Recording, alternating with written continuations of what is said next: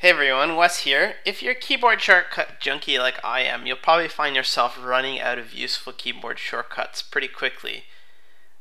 Some of the applications start to map to the same things, and when you hit your sh keyboard shortcut, uh, sometimes it doesn't do exactly what you're looking for. One thing we can do is actually make use of the caps lock key on your keyboard. Uh, the caps lock key is obviously for making text caps, but we can remap it to something that's a lot more useful.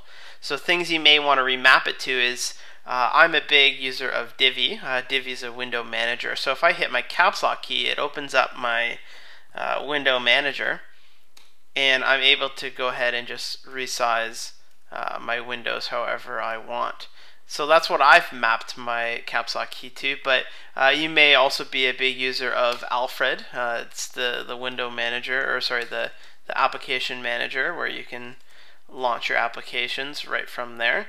Uh, one, I have mine mapped to option space, but you may want to map it right to your caps lock key. So whenever you hit the caps lock key, it pops up in your Alfred. So what you use it for is totally up to you. Uh, I'm going to show you how you can set it up to remap it. So first thing we need to do is disable the caps lock key. So make sure it is in the off position, so the little light is not on. And go to your system preferences, and we want to click keyboard.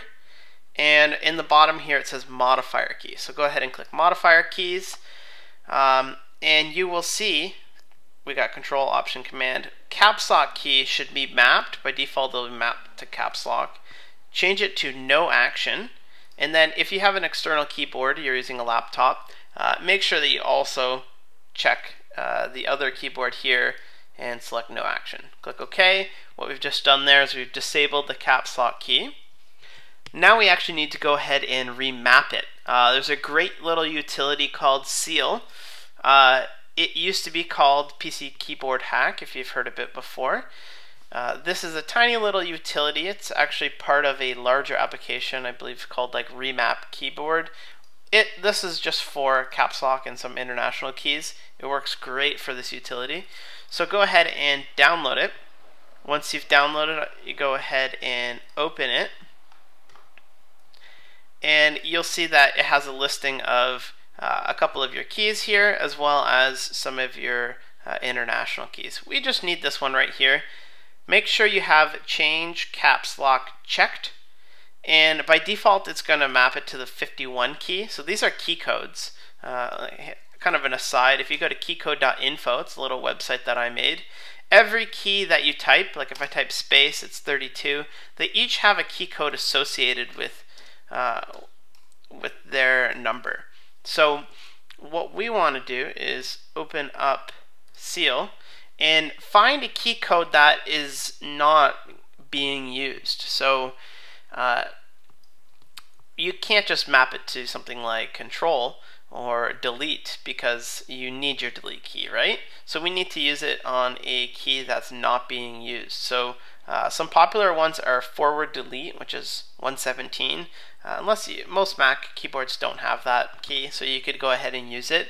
Or thanks to Kenan on Twitter, I asked what people are using. He said 80, so I figured out what 80 was, and it was the F19 key. So unless you have some insane long keyboard, you probably aren't going to be using your F19 key, which I think is even better than the forward delete key.